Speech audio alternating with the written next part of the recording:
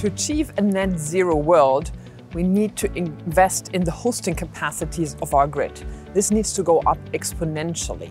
And in order to do that, you actually need more copper, yes, but in essence, you need to manage your grid smarter. And that means managing planning, operations, and maintenance of your grids in a more sophisticated way, in a smarter way, so that you can have a better return on investment and really take advantage of data and take advantage of a digital representation of your grid.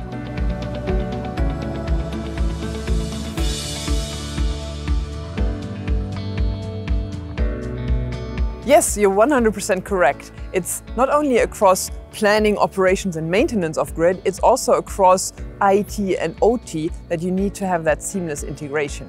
And our digital twin approach really comes to life if you look at, for instance, to Fingrid in Finland, where they really utilize the same representation of the actual grid across all three different processes. And likewise in the US, if you look at AEP, for example, American Electric Power, they follow the same approach and have that as the centerpiece of how they integrate their IT and OT landscape.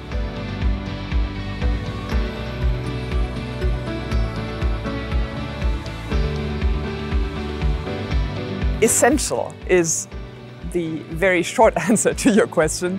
Um, the longer version would be we absolutely count on partners. And why is it so essential? Because not only we provide even better value to DSOs and TSOs, and on top of that, we are faster in innovation. And these days, it's all about speed. The energy transition just can't wait. And if we do that with partners, if we integrate with technology partners, if we work with uh, system integrators, if we work with, frankly, our customers as partners, then we can be so much faster in innovating and really proposing whole new solutions.